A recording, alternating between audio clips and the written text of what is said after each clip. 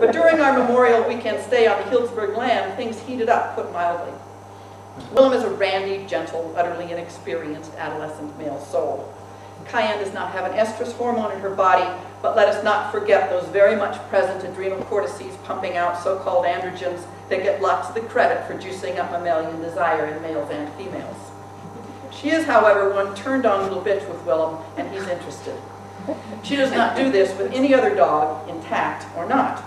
None of their sexual play has anything to do with remotely functional heterosexual mating behavior. No efforts of Willem to mount, no presenting of an attractive female backside, not much genital sniffing, no whining and pacing, none of all that reproductive stuff. No, here we have pure polymorphous perversity that is so dear to the hearts of all of us who came of age in the 1960s reading Norman O. Brown. The 110-pound Willem lies down with a bright look in his eye. Cayenne, weighing in at 35 pounds, looks positively crazed as she straddles her genital area on top of his head, her nose pointed toward his tail, presses down, and wags her backside hard. I mean, hard and fast. He tries for all he's worth to get his tongue on her genitals, which inevitably dislodges her from the top of his head. It looks a bit like a rodeo, with her riding bronco and staying on as long as possible. They have slightly different goals in the game, but they are both committed to the activity.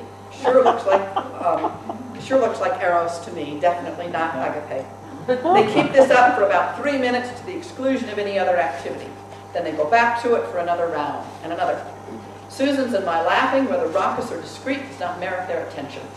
Cayenne growls like a female Klingon during the activity, teeth bared. Remember how many times the half-Klingon B'Elanna Torres on Star Trek Voyager put her human flyboy lover, Tom Paris, in sickbay? Cayenne's playing, but oh my, what a game. Willem is earnestly intent. He is not a Klingon, but what feminists of my generation would call a considerate lover. Their youth and vitality make a mockery of reproductive heterosexual hegemony, as well as of abstinence-promoting gonadectomies. Now I, of all people, who have written infamous books about how we Western humans project our social orders and desires onto animals without scruple, should know better than to see confirmation of Brown's love's body in my spayed Aussie Dynamo and Susan's talented landscape guardian dog with that big, sloppy, velvety tongue. Still, what else could be going on? Hint, this is not a game of fetch or chase. No, this is ontological choreography, which is that vital sort of play that the participants invent out of the histories of body and mind they inherit, and that they rework into the fleshly verbs that make them who they are. They invented this game, this game remodels them. Metaplasm is the name of the trope. Metaplasm, once again. It always comes back to the biological flavor of the important words. The word is made flesh in mortal nature cultures. Thank you.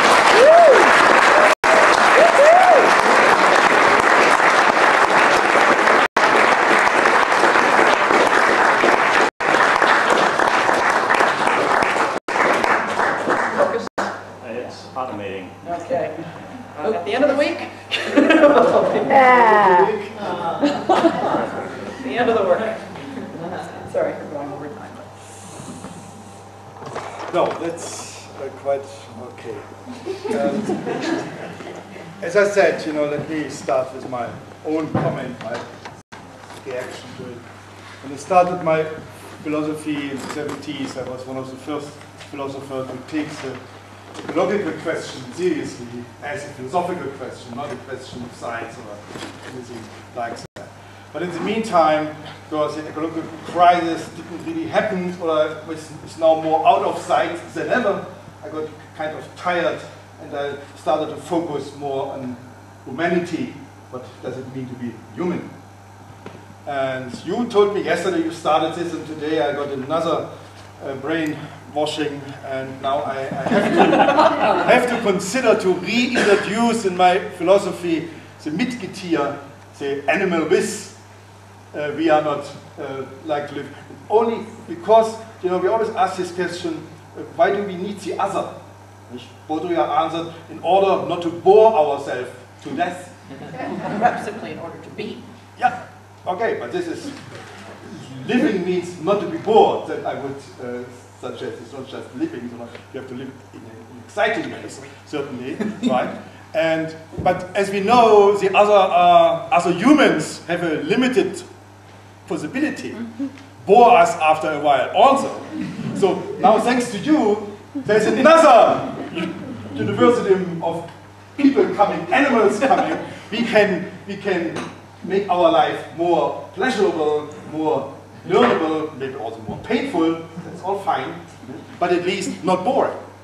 So in this way, I would say, looking forward into a world which uh, certainly will come, in which we don't have to work anymore for our living, but have the right to have a profession we like, to be with other animals, will be in many ways probably one of the most exciting professions we can find. Reasons to live for and have a fulfilled life. That is what you actually kind of told us, that they are waiting from the history coming to us. As Heidegger said, they are coming to us from the past, but we see them in the future. future. Right. Mm-hmm. As they're coming back from the future, so to speak, to us and, and telling us here, nicht, you don't have to fear when, when there is no work anymore, nicht, this pain, but also fills our days, you know, that you kind of have an empty space. No, it's not empty. There are all the dogs and, and you know, you can play with, and they play with you and not only play, she told us how serious it has become. What was this game? The game of Agility. Agility, right. Is that not agility? That is a new philosophical term. And, you know, I will steal it from you, you know. place in my life I'm Agility as a philosophical term in, in, in which we can nicht, describe activity. Uh, nicht? It would be nice if we still would be very agile, agile whatever it is. Agile, is it agile? Whatever. Good, uh, that is my, my comment. I don't, I I keep waiting for the other shoe. I, ha I have no, I have not even, I don't, um, I don't know, it's because challenging you would try to erase what I learned, and that I don't want to do yet.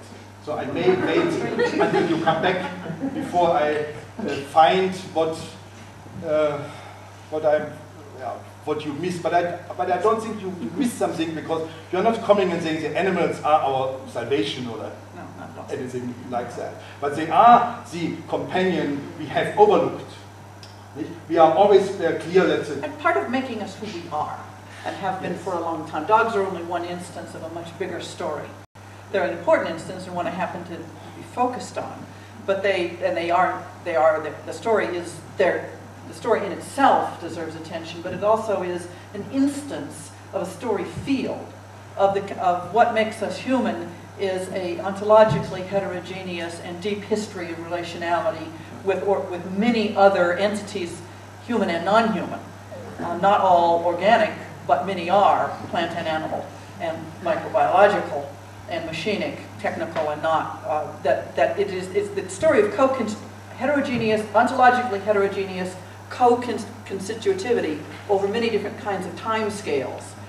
That's the heavy burden this 35-pound Australian Shepherd has to bear. Philosophically. okay, okay. Now I, I now I have a critical question. What- Also, yeah. a If soon as I, I leave dogs, I'm in deep trouble. if I if I would be like you by touching something, in your case a dog, at that moment I kind of inherit all the history, all the layers. Know, this sounds really like a, a paranoid character to me. Look, if I do this with, with a table or a, with, no, with her, oh, then I get so much in, in trouble. But all the time, everything, everything is, is it not our, our strength not to know about that? We also, know about it as an impact, so if we want, we can focus on it.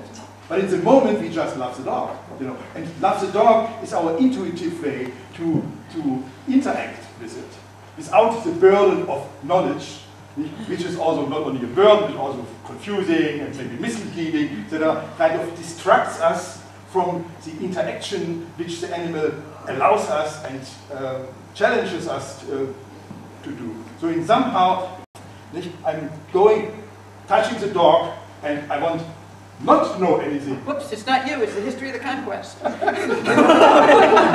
our problem. But I understand. But it, what you mean is certainly, if you focus, then you need all, then you can know. But in the interaction, the actual act. I, I I would go a little further.